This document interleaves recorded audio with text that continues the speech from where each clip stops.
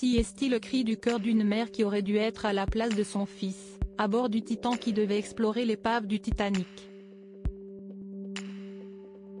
Alors qu'elle vient de perdre son époux Shazada Davoud, et son fils Sulman, 19 ans, dans cette tragédie, Christine Davoud brise le silence, mais sa version en contredit une autre.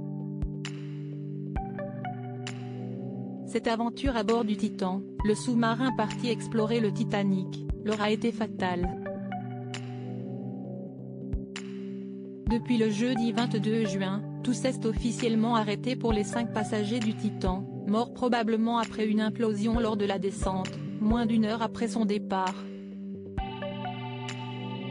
À son bord notamment Paul-Henri Narjolet, scientifique français, qui avait été le directeur de l'une des premières missions de recherche sur l'épave du Titanic, mais aussi Shahzada Davoud, accompagné de son fils Sulman, 19 ans, milliardaire pakistanais proche de Charles III. Alors que ce drame a vivement fait réagir, notamment Hélène C., ou encore James Cameron, CST autour de Christine Davoud, qui a perdu son mari et son fils, de s'exprimer. CST le cri du cœur d'une mère, celle de Sulman Davoud, décédé dans le Titan, qui aurait dû y aller à sa place. CST pour la fête des pères qu'il a accompagné le sien dans ce périple à 250 000 dollars la place. Pourtant à l'origine, CST sa mère qui aurait dû être à sa place. C'était censé être Shazada et moi qui devions descendre.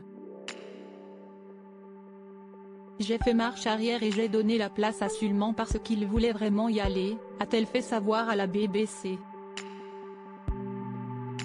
Des confidences qui vont à l'encontre de celles faites par sa tante, Azmeh Davoud, qui assurait quelques jours plus tôt à NBC News que le jeune homme était terrifié à l'idée de faire le voyage. Il n'était pas très motivé, mais a voulu faire plaisir à son père pour sa fête, absolument obsédé par le Titanic depuis son plus jeune âge, avait expliqué la sœur de Shazada. Ce voyage était prévu depuis avant la pandémie, et le jeune homme était alors trop jeune pour y participer, et si est donc sa mère Christine qui devait en être, selon ses confidences. Le périple ayant été reporté, il a finalement eu l'âge nécessaire pour aller explorer les fonds marins. Ils étaient tous les deux tellement excités, s'est souvenu la mère du jeune homme, tragiquement décédé à 19 ans.